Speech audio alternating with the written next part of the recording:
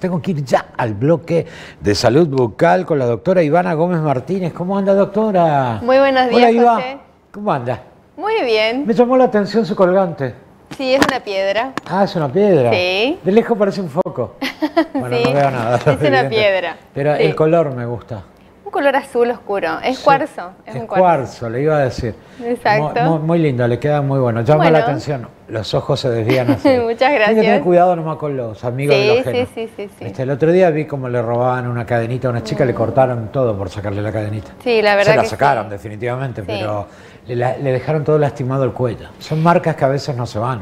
Exactamente. En lo psicológico y en lo físico. Pero ¿qué tiene de malo? Uno quiere usar sí. una cadenita, te, te- te hace sentir bien, te queda bien, o pega Claro. con la ropa, no lo sé. Pero ¿con qué necesidad robar una cadenita? Claro, uno quiere adornar, quiere Encima, eh, la chica me decía que era bijú, Ay, sí. ni siquiera era de oro. Claro, por eso. Porque vos decís, bueno, le robaron la cadena de oro, la venden, la hacen plata, bueno. Pero una bijú, ¿qué haces con una bijú? Nada. Claro, no, Rota nada, es un susto nada más. Encima rota porque la rompieron al, al tironearla, así Sí, que sí, bueno, sí. eh, poner en riesgo la vida de alguien Es por cierto. nada no tiene sentido. Así es. Este, todo eso generó su, dije, el dije que usted tiene, ¿vio? Sí, ¿Anda es muy bien? lindo. Muy bien. ¿Qué tal esta semanita? Bastante, dentro Bien. de que estuvo gris, estuvo bastante lindo. ¿La trató bien la lluvia? La verdad que sí. ¿Se puede trabajar con los equipos cuando hay tormentas? Lo que no se puede es cuando se corta la luz, cuando Ah, hay mucho- muchos truenos, por ejemplo. Y... Pero yo me acuerdo una vez, era chiquito y se largó una tormenta y justo me tenían que usar el torno y dijo el, el odontólogo, no, no, es peligroso trabajar con el torno cuando hay estas tormentas. Y en realidad Pero depende. Claro, eso era hace mucho. Ahora tenemos otros cuidados a nivel eléctrico. Estamos hablando que- de la época de los picapiedras. Claro. no, ahora tenemos todos asegurados. Todo asegurado. Sí. Bien, bien, bien. Porque es costoso todo lo que ¿Cómo sea. está para ir a votar el domingo? Muy bien. ¿Ya deci- decidió su candidato? Sí, ya decidí, está decidido. Ah, bien, pero ¿lo, decidió ahora o ya de- de- lo tenía decidido de antes? Luego del debate. Vos sabés que yo luego esperé del el debate debate. ya- Yo, yo también, no tenía ni uno de los dos y dije Sí. en el debate me voy a definir. Totalmente. Más o menos me definí, más o menos. Ve- Veremos. Eh, voy a ver qué hago el domingo cuando entro al cuarto oscuro. Ahí, Sí. ahí uno, viste, tiene las dos boletas y esta vez son dos. Esta vez son dos. Así sí. que bueno, eh, va a ser más fácil la elección. Que sea lo mejor para todos. Lo malo es que te ponen una boleta así de grande, ¿viste? Tienes que estarla doblando Claro. para meterla en el sobre. Ahora va a ser más chiquita, ¿no? Sí, mejor. Y después pasar la lengua. Ah, el sobre, ¿viste? Para que se Sí, pegue. pero en la época del COVID no se podía hacer eso. Ah, bueno, yo le paso la lengua es para que se pegue. Claro. Y después el otro trauma es meterlo en la urna. También. Porque tiene el, el agujero muy chico. Claro, es muy- muy y se angostito. traba el sobre. Exacto, Bueno, sí. no nada. Nunca me saqué una foto votando. ¿Usted sí? Yo tampoco, no. No, la Eh, verdad que no. Este de domingo voy a llevar a alguien que me saque fotos. Yo siempre tengo al doctor Muelita, pero no, no me saca la foto. ¿No te saca la foto? No, no, no. Ah, Rodri. Mandamos un abrazo, Rodri. Sí. Bueno, doctora, vamos al tema de hoy, Sí. porque yo ya me copié hablando. El cepillado dental. Eh, troca, troca, troca, troca Sí. todos los días. ¿Puede disminuir el riesgo de enfermedad cardiovascular? ¿Qué tiene que ver los dientes con el corazón? ¿Sabía, José, que Ajá. cepillarse en forma correcta puede disminuir el riesgo de enfermedad cardiovascular? Es ¿Pero por decir, qué? ¿Qué tiene que ver el cepillado con el corazón? Muy importante pregunta y es muy importante el tema. Ajá. Habíamos dicho que cepillarse, vamos a decir, regularmente y obviamente bien, lo que hace es barrer Toda la mugre. la placa bacteriana. sí, la mugre que nos queda en los dientes. Y lo que va a hacer es disminuir la enfermedad periodontal que tenía dos ramas, la encía Ah, que ahora producía va. la gingivitis Sí. y eh, la periodontitis que era eh, los tejidos de soporte, o sea, del hueso y la raíz. Viste que se formaba sarro ahí. Exacto. Entonces, ¿qué pasa? Esa placa bacteriana va a traer, habíamos dicho que tiene muchos elementos, y entre Ajá. los elementos están las bacterias. Las bacterias importantes, malas, que están en la boca, además del estreptococo hay más, lo que va a hacer es irse al torrente circulatorio, ¿sí? Entonces, para evitar que esas bacterias vayan al torrente circulatorio y que vaya a diferentes órganos, hay que cepillarse en forma correcta. Porque si no, ¿qué va a pasar si estas bacterias van al torrente sanguíneo? Va a haber un aumento de las arritmias cardíacas, Sí. aumento del riesgo de padecer infarto agudo de miocardio. Mira todo lo que podemos prevenir con un simple cepillado de dientes. Exacto, aumento de la insuficiencia cardíaca y aún peor, aumento de los accidentes cerebrovascular. Ajá. Todo eso hay que prevenir con un simple cepillado, pero uno dice simple cepillado, pero hay que hacerlo correctamente. Correctamente, y, las veces necesarias. Y las veces necesarias. ¿A esto qué tenemos que tener en cuenta? Primero, la elección del correcto cepillo. Vamos a decir que no todas las personas van a usar el mismo cepillo, el mismo tamaño, vamos a decir así. Después, la elección de una pasta dental buena, correcto uso del enjuague bucal y del hilo dental. Ok. ¿Sí? Bien. Ahora, ¿Cómo, ¿cómo, elijo correctamente eh, cuál es el cepillo adecuado para mi boca? Bueno, primero que tenemos que ir al odontólogo. Las personas tienen que recurrir al profesional. El profesional hace un estudio sistemático de la boca del paciente y le indica qué pasta y qué cepillo usar. Ah, bien. Vos sabés que yo para no errarle tengo dos cepillos.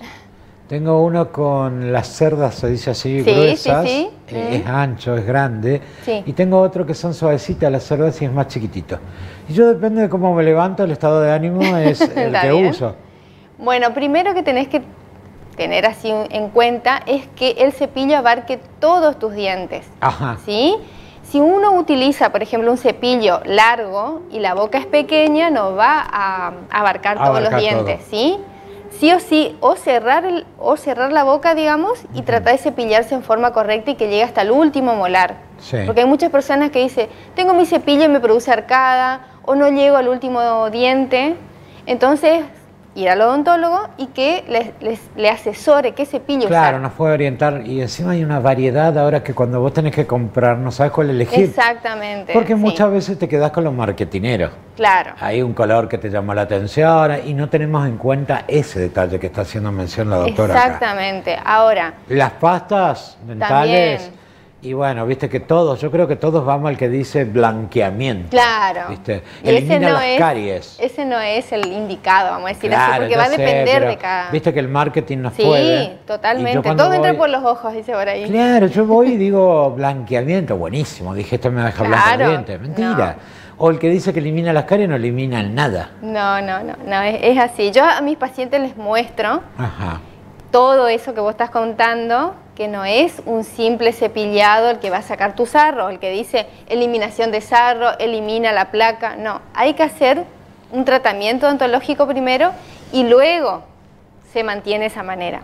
Ahora, ¿cuánto tiempo, o sea, cuántos días o en el, en el día? ¿Cuál es la frecuencia de cepillado? Como mínimo dos veces por día, como máximo cuatro. Cuatro. ¿Sí? Y el tiempo son dos minutos. Un minuto en la arcada superior. Como vos te parece más cómodo. Como vos te parece mejor. Lo importante siempre es a la mañana, después del desayuno y antes de dormir. Esos son por eso dos. Pero en lo posible siempre luego de cada comida y bueno, antes pero es muy común que a veces uno se va a dormir y se olvidó cepillarse los dientes. Y bueno, ese es uno de los errores. Porque durante la noche trabaja el estreptococos y su compañía. Eh, a ver, le voy a contar a los chicos lo que es el electrococo. Es un bicho horrible con muchos dientes. Es una bacteria horrible. si no te lavaste los dientes a la noche, ese bicho grandote te come los dientes. ¿eh? Así es. Y te muerde la lengua. Sí, y te produce caries, gingivitis, puede ir al corazón y nos afecta. ¿Por qué los dibujan tan feos siempre a los bichos? Porque las son feos. Los, feos, los dibujan ojos grandotes, dientes, así, horrible. Y para que uno tenga conciencia de lo que tiene. Hay que evitar, digamos. Ivana, ahora entendí por qué un buen cepillado puede prevenir, eh, prevenirnos de enfermedades cardiovasculares. Sí. Yo siempre cuento una anécdota de algo que fue dentro de la familia, ¿no? Eh, de alguien que por culpa de una carie perdió la vida y nunca lo entendíamos por qué. Se le fue la infección al cerebro. Exactamente, por eso es de y la ahí vos buscás la conexión, decir cómo, le llegó la infección al cerebro.